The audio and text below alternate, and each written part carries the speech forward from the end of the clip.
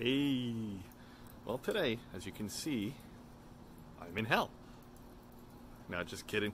Starting the barbecue a little too much of the old gasoline, liquid fluid there. You know, it is what it is. It's not a guy thing if it's not an atom bomb. So some very quick rundown for this week. It's been a good week. Things have gone well. We are now Sunday.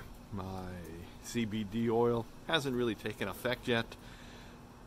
Still very tired, but you know what? Tomorrow being Monday, I would like to advise or have fun to tell you, and I hate the word tell, I would like us all to start off on a clean foot and let's reverse a mantra we've all said for the last 20 years of our retail life.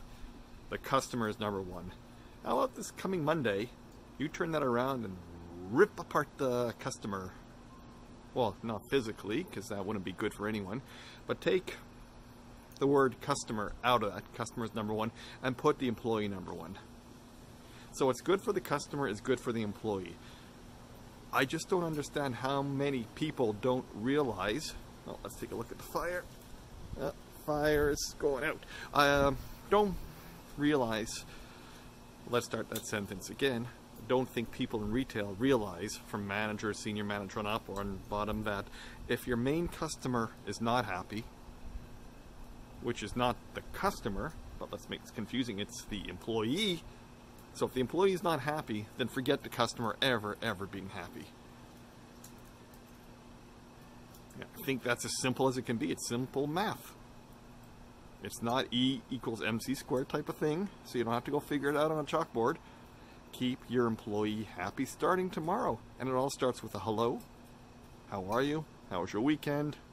Nice shoes. Did you watch the game?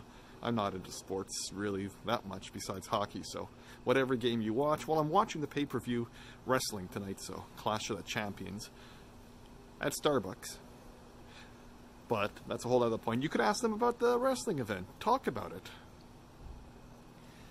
That's all I want to say for today. Keep it short, keep it sweet. All it is about making the employee the number one customer. And not the customer is number one. Comprendre? Questions? Shouldn't be any. If you do, please feel free to write below. Write me personally, comment, feedback, whatever you got to do, you got to do. And until tomorrow, have a phenomenal day. Cheers.